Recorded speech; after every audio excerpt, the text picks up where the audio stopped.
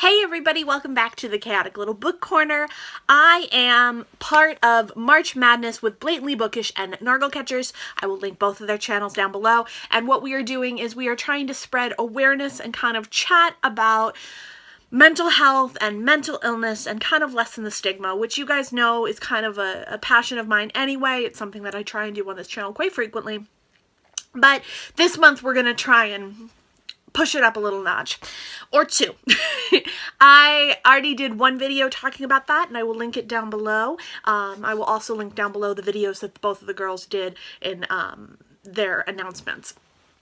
So today I just wanted to talk to you guys about things that affect the psyche or this the psychology of a person. Um, these are all books that have mentally ill characters in them that are affected by things that we ourselves are affected by, but on a lesser scale sometimes. Um, and I just want to dive right in. So the first thing that I really want to talk about is eating and health and the food that we put into our bodies. Now, I know I may not be the best person to take advice from because I am heavier, and I admit that thoroughly. Um, and I have struggled with eating disorders all of my life, since about the age of eight. Um, if you guys are curious about that, I'll link my video down below talking about the truth about my eating disorder. But this book talks about a uh, disorder called pica, which is the act of eating an item um, that has no food value. So in this case, this is White is for Witching by Helen Oyeyemi, and she eats chalk from the Cliffs of Dover. So, one of the things that I have come to realize over my time in therapy and my experience in the mental health field, as far as talking to people with mental illness and talking to people with mental health issues, is that food is a really, really important thing and what we put into our bodies and how much we eat and how much we don't, you know, deprive ourselves of. Food is a very very big thing um, as far as how our psyche responds. With with hunger comes some very very strong responses from the body um, and with overeating comes the same so this story talks a lot about things from a magical realism perspective. However, for me, one of the things that I love about magical realism is it's very easy to describe it and then see it as a mental health issue. Not all magical realism does this, but a lot of the more current magical realism tends to do this, where you could really argue that it's a person with a mental illness or a mental health issue that is seeing the world in a different type of way.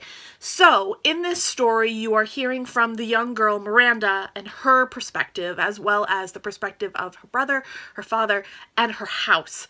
Now, her mother has disappeared and she is grieving her mother, and she is also trying to come to terms with her life, and she is not eating properly and not taking care of her own body.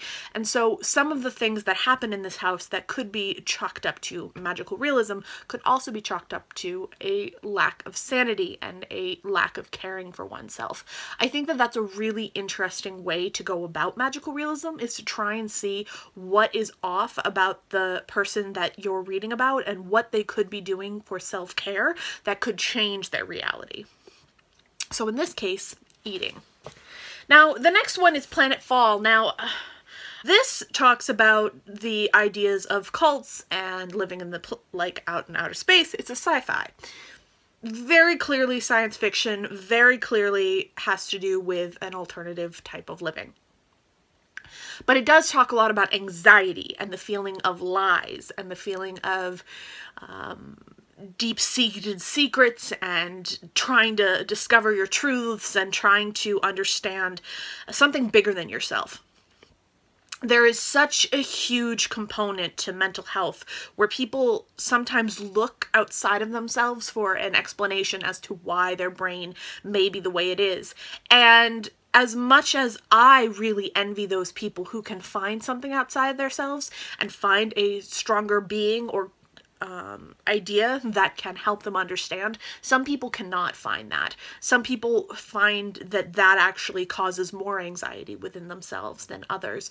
Um, so in this case, I really found that the anxiety that was really, really plaguing the main character is based around the fact that they really weren't able to find their overall answer, their end all be all answer, as well as they weren't able to maintain a sense of reality and a sense of honesty in their own being because they were trying to hold on to a secret for such a long time that is all I'm going to say on this book, but I think that that is really something that can affect your mental health in general.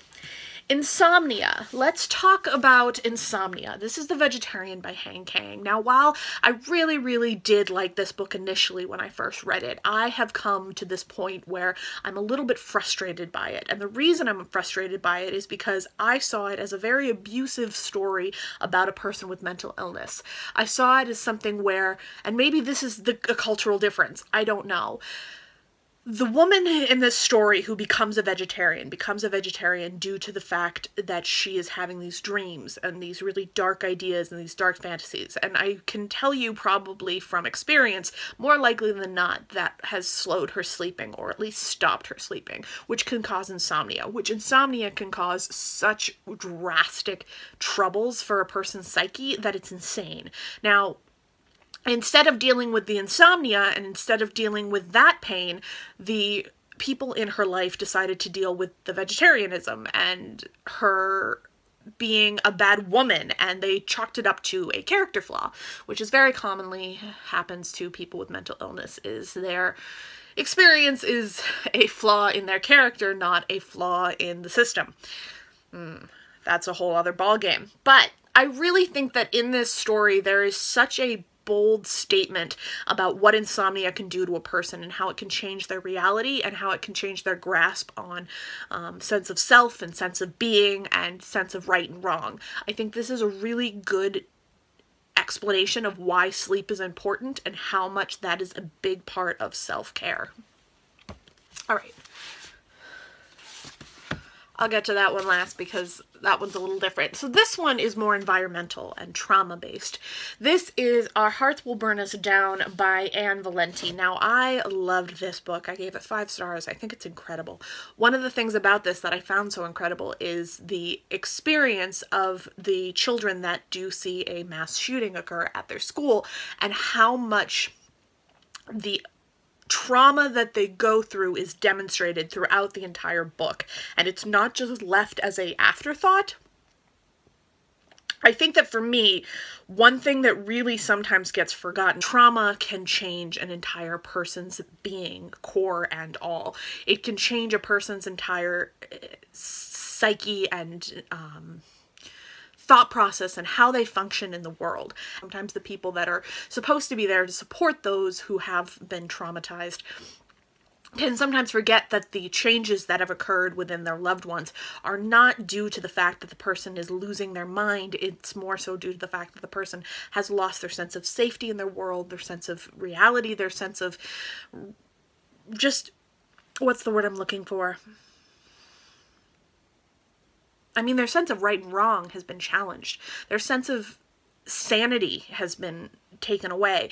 There's such a strong pain that comes with trauma occurring in your life that really can change a person's entire attitude in how they relate to the world.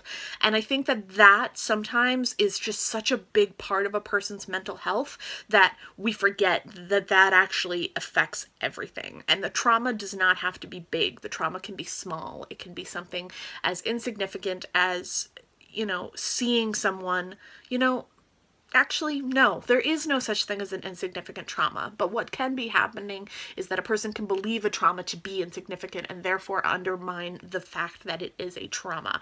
And I think that that is a really big issue for a lot of people is this idea that their trauma isn't as bad as someone else's and therefore they should not feel so bad that happens a lot.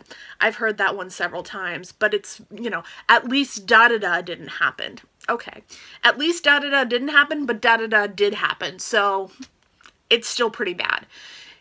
You can't compare your trauma to one another because when you do, it ends up becoming a competition and it ends up becoming a I'm I'm in a worse place and you're in a worse place.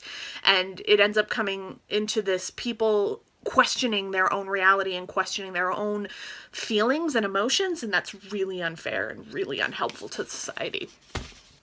So then the last but the not least is aging. Now, I don't believe that aging has to be a troublesome thing, but I do think that people who age can struggle and they can struggle greatly. So this is Idaho and it's by Emily Ruskovich. Now, dementia, Parkinson's, Alzheimer's, all of those are more commonly diagnosed in the time of aging. And those are things that change a person and their behavior and their memory and their idea of sanity and their idea of security.